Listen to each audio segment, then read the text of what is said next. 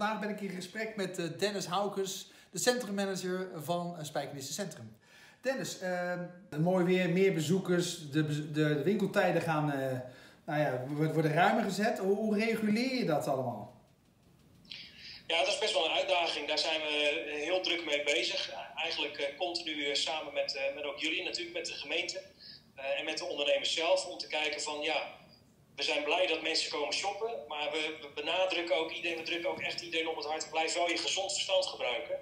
Uh, want enerzijds, ja, we, wij als winkeliers willen heel graag open en we moeten ook open, want we moeten natuurlijk ook allemaal, uh, uh, nou iedereen willen we bedienen, maar we moeten ook onze centjes verdienen. Maar dat betekent ook dus dat we iedereen een beroep doen op een, ja, soms al even geduld en begrip, omdat we op sommige plekken dan wat aanpassingen moeten doen in de route. En dat kan zijn dat we in de overdekte gedeeltes hebben we nu wat eh, dranghekken geplaatst.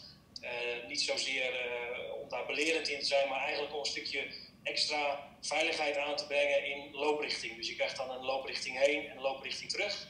En hebben ook nog wat extra schablonen geplaatst hier en daar op de grond, uh, zodat je ziet wat dan de looprichting is. Heb je nog als laatste nog een mooie tip naar de bezoekers? Jazeker. nou ja, we, hebben, we hebben als ondernemers jullie natuurlijk keihard nodig. Dus als je gaat shoppen, nadenken. Je veiligheid en gezondheid staat voorop. Dus handhaaf uh, de reglementen van de RIVM. Maar ga je shoppen, doe dat dan alsjeblieft lokaal. En doe dat dan lekker uh, hier in de omgeving. We hebben een mooi aanbod. Dus shop lokaal, maar blijf gezond verstand gebruiken. Nou, dat zijn mooie laatste woorden van Dennis Haukes. Ik zou zelf ook nog eventjes aan willen vullen. 1 juni gaan de terrassen weer open en ook de horeca dus weer, daar weer open. Wel met bepaalde maatregelen van 30 mensen per, uh, per terras.